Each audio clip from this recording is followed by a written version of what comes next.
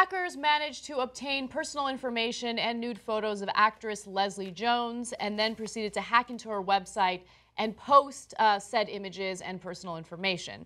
According to the New York Times, the hackers inserted a picture of the gorilla Harambe on the site and exposed what appeared to be explicit photos of the actress, along with pictures of her driver's license and a passport. Now, uh, so far, there hasn't been any comment from Leslie Jones or her representatives, but what we do know is that uh, the information, the personal information that's been posted, is consistent with some of the public information that's out there. And it's problematic because, of course, it gives people the ability to steal her identity and make her life a living hell. And of course, there's the extra layer of the nude photos as well. We don't know how they got their hands on this information or this content, but we know that they did this to her website and her representatives shortly took the website down. Okay. Uh, that's interesting because yesterday we did a story about um, racist memes about Harambe. And uh, we were told by some folks on the internet that, mm -hmm. oh, you guys are so humorless. You don't understand that racist memes about Harambe are actually not racist. They're the opposite of racist. Right. They're meant to deconstruct racism or something along those lines. But what would I know? I'm a simpleton.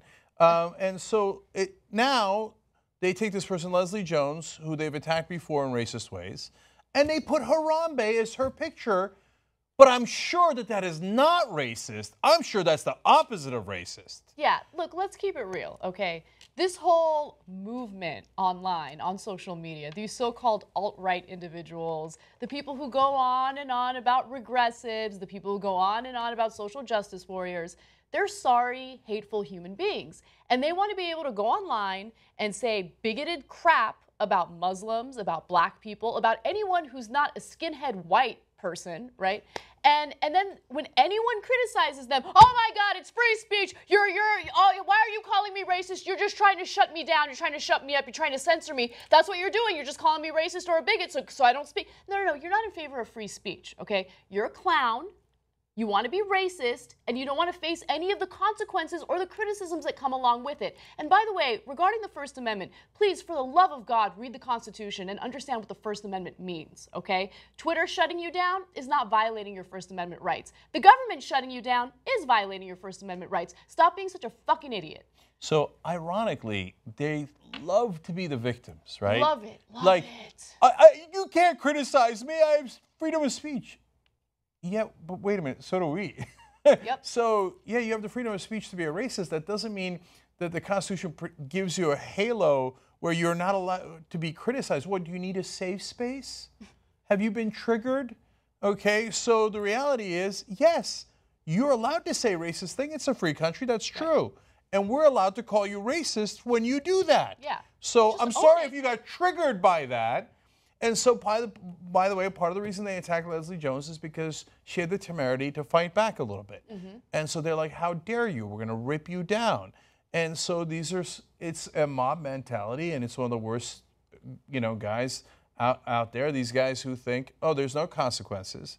And in this case, I hope to God there are consequences. The part that makes me the angriest, her personal information is hideous, hideous, hideous. Because, hey, listen, you idiots you all think you're wonderful and clever, and etc.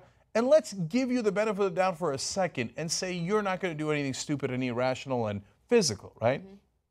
Are you absolutely sure that all of your alt-right friends that they're all mentally stable and that when you give out where she lives, that one of one of those guys is not going to show up where she lives? You're positive of that. That's why you think there are no consequences to giving out her private information. Look, I would argue that anyone who spends every single moment of their day on Twitter masturbating to the pain and suffering of other people are not mentally stable. Yeah, yeah, and perhaps somewhat likely to take actual physical action. Exactly. Okay, let alone, and, and, we and I'm not going to let alone. Uh, maybe the worst part is the explicit photos.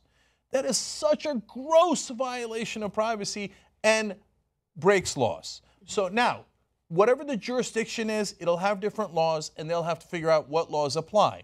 I'm not saying throw the book at them in, with laws that don't exist.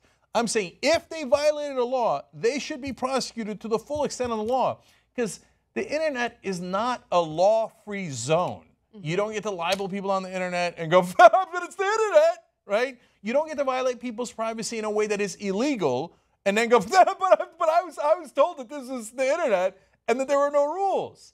No, you still live in humanity and you still are uh, part of our legal pro- uh, process and our community and our country. So, yes, you have to follow the laws. And if they broke any law doing this to Leslie Jones, they should be imprisoned. Oh, but I got freedom of speech rights. No, your freedom of speech rights do not extend to taking her explicit photos and putting them online. You don't have that right. Yeah. That isn't freedom of speech. That's something else entirely. So there you, are look, there are laws, um, and there have there has been precedent in cases similar to this. There have been hackers that have gone after you know high name celebrities, public figures, and they've put nude photos out and then they get sentenced. And in some cases, they get sentenced to several years in prison. And then people get all upset about it. But you're breaking the law. You don't have the right to invade anyone's privacy, and no one has the right to invade your privacy. Okay, these are the laws that we have to deal with. And if you don't like it, that's too bad. And, and they're positive that the entire world is wrong except for them. So Questlove supports uh, Leslie Jones here. Paul Feig, of course, director of Ghostbusters, of course, supports her. Uh, Patton Oswalt, Katie Bear, but no, everybody's wrong. Everybody's wrong. Patton Oswalt, who's a you know seemingly a terrific guy, a funny guy. Nope, nope, whatever. No, yeah, regressive, whatever, social justice warrior. Because you care about somebody and you don't want to destroy their lives, that doesn't make you some sort of like victimologist or whatever you regressive. What that makes you is a decent human being who has empathy for others instead of a sociopath who thinks that there are no laws on the internet and they could try to shred people's lives because of a disagreement online yep. and make it real by actually threatening their safety. And then, but oh no, no, nobody's the safety's threatened. I didn't do it. I mean, I just gave you all the ways that you could hurt her. I didn't do it. I didn't do it. You know, and then me, a racist, just because I called a African American woman a gorilla, I compared her. it's so silly of you not to understand that that's not racist. Really, okay. I don't know why we're even continuing this. The most obvious thing in the world. But Jayar, what do you think?